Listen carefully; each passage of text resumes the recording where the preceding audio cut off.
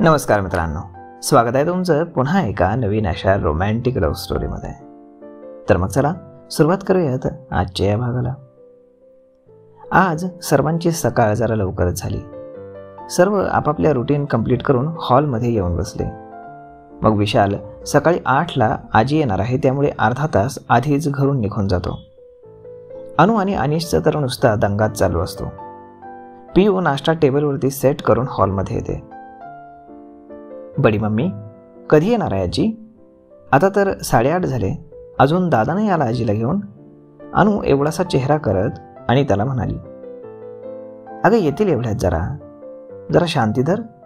सासरी गेली की कसं होणार तुझं काय माहीत? रुपाली जरा रागातच अनुला पाहत बोलल्या. मग ती गाल फुगवून त्यांना पाहू लागली. तू पण रे धोंड्या. तू पण काही वेगळा नाहीस. तिला काय हसतोस? रुपाली अनुला बोलत असताना अनिश हसत असतो त्यामुळे त्या त्यालाही बोलतात. मॉम मी काय केलंय? आणि काही केलं असलं तरी मी काही सासरे नाही जाणार. हसणाऱ्या अनुला खुन्नस देत अनिश म्हणाला.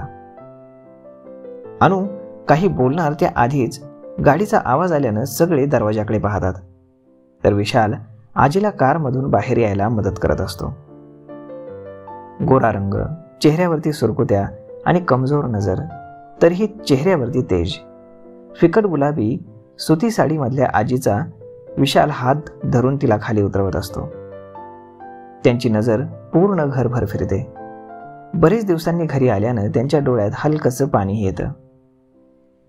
आता आलीस ना तू घरी? मग कशाला रडतेस? आजीला जवळ घेत विशाल म्हणाला. हलकेच त्याच्या डोळ्यात आलेलं पाणी पुसत विशाल म्हणाला.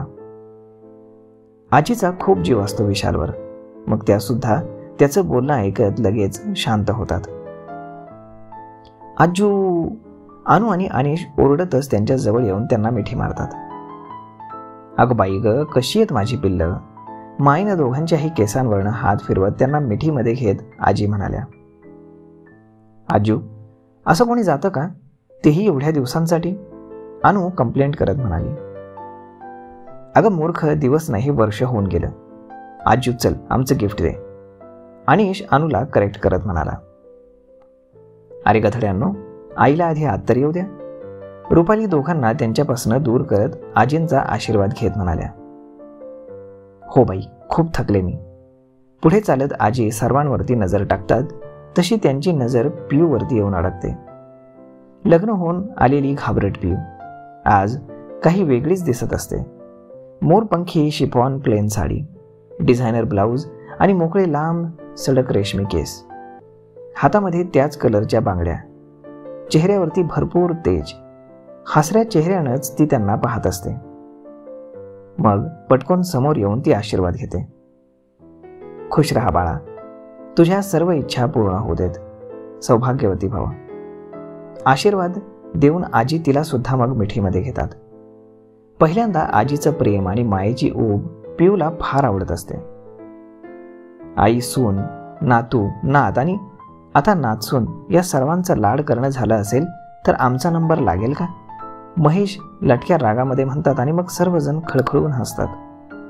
राजेसुद्धा असतात मग दोघं पटकन त्यांचा आशीर्वाद घेतात आणि त्यांचे हात पकडून त्यांना घरामध्ये घेऊन येतात. बस बस. एवढी काही वयस्कर आजीबाई झाली नाही मी. सोडा माझा हात. दोघांना दटावत आजी म्हणाल्या आणि मग? त्यांचं बोलणं ऐकून सर्व खुदकन गालात हसले. नाहीतर काय? जसं एव्हरग्रीन असते तशी माझी आजी सुद्धा एव्हरग्रीन ब्युटिफुल आहे. आणि त्यांचं बोलणं ऐकून आजी चक्करला असतात मग सर्वजण दोघांचीही मजा घेत राहतात.